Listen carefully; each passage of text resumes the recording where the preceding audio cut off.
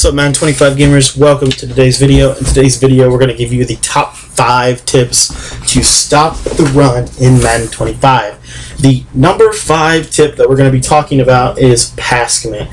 Guys, pass commit is a little bit of a, of an opportunity for you to get involved with your uh, with your with your game. And, and what it does is basically as far as the passing game goes, if they call play action play, your guys won't overplay. Um, but if they if they if they call a running play, here's what happens, and this is why we pass commit when we want to stop the run.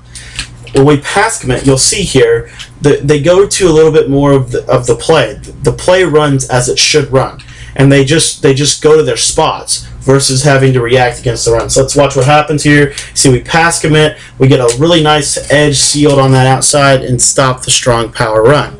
So that's the number one tip uh, that's one of the, that's our number five tip in how to stop the run in Madden 25. Um, number four tip in how to stop the run is blitz your linebackers. You don't have to blitz all of your linebackers, but blitzing one or two of your linebackers does a really nice job at stopping the run. Here we're going to take a look at the OLB blitz, and uh, we're going to show you how we like to use it to stop um, something like a halfback off tackle or uh, a zone weak or something. If I could find the strong close, we'll show you this.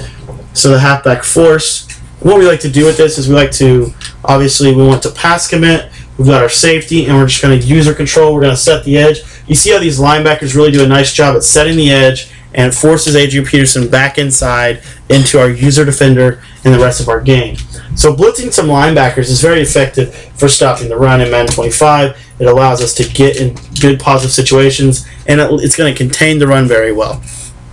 Number three on our list is use flat zones. Guys, we like to use flat zones uh, with our safeties. If they're in purple zones, uh, they're not quite as good as and powerful, but when they're in flat zones, guys, you'll see here, this is going to do a really nice job at stopping this halfback off tackle because those flat zones are going to shoot to the outside, force it to kind of contain it back to the inside, back to the rest of our defense. So let's take a look at this one more time.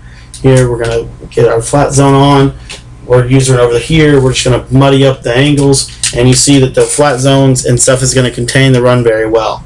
Um, our number two tip on how to stop the run in Madden 25 is set the edge. Guys, in Madden 25, it is very difficult for the opponent to have to consistently run inside.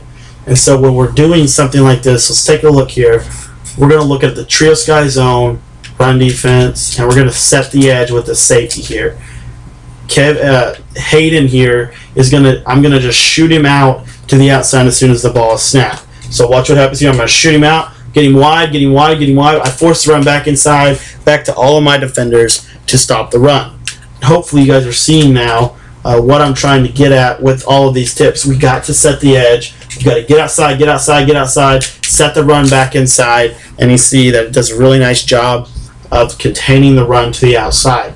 And then, guys, lastly, the number one tip for stopping the run in Madden 25 is get the safety involved. If they if you're not playing things like the inverted cover two or things like that that can potentially help you out tremendously at stopping the run in Madden 25, uh, you're really missing out and you're really going to be struggling a lot.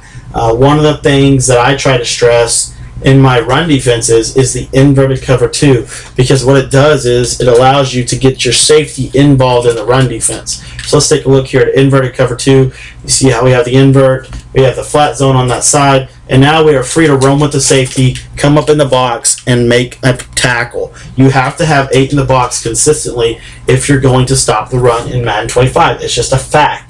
It is what it is. You can get back. You can play user control. You need to take an extra mile. You need to burn a calorie, and you need to get down in that box and start muddying up the run. Are you going to completely cage the run? No, you're not. Madden 25, it's very easy to run the ball. We've talked about this all season long, guys. It, it is very easy to run the ball in Madden 25, but when you get the safeties involved, it's a lot harder than it was. Watch what happens if I don't get the safety involved. So here, I'm going to just run the play and the same exact setup that you just saw me stop the run on, I'm going to run the play and I'm not going to get the safety involved. And watch what's going to happen. They're going to get yardage on the outside, and now they're going to get a lot more yardage than they got in the previous play. We'll take, we'll show you this one more time.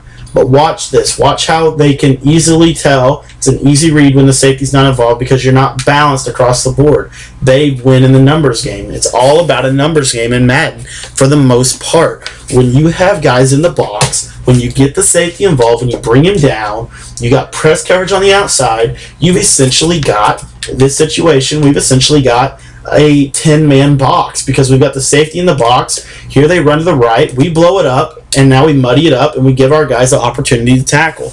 It's very simple. At the same time, it's also very complex. But again, you have to do something. And one thing you can do right now to improve your run defense in Madden 25 is easily the easiest thing you can do is get the safety involved. So let's recap our top five tips. We talked about pass committing. We talked about blitzing our linebackers. We've talked about setting the edge, and we've talked about uh, using flat zones. And then the most important in my mind is get your safety involved. Don't just use your defensive tackle and expect you're going to be okay. You have to bring guys up in the box. You have to muddy it up and you have to force that run to be contained. So I hope this video provided the top five tips, in my opinion, to get the run stopped. If you like this video or appreciate some of the videos I've been doing recently, uh, you might consider following me on Twitter and staying up to date with me on there where I release a couple of things every day. You might consider following me on my blog sites. All those links are in the description where I write posts up. So if you don't like listening to me talk, you can read it. Or you might just consider subscribing to my YouTube channel because that's where I put out every video. I put out four videos a day to try to get you better at Madden 25. So guys, once again, I hope this video provided some value to you. And if it did, if you would do one of those three things, if you would subscribe to me on YouTube, follow me on Twitter, or just subscribe to one of my blog sites on Medium or blogger.com, you can get engaged with me outside of YouTube check me out guys. I've got a lot of tips coming soon. I really appreciate all the support i've gotten lately and we'll talk to you guys soon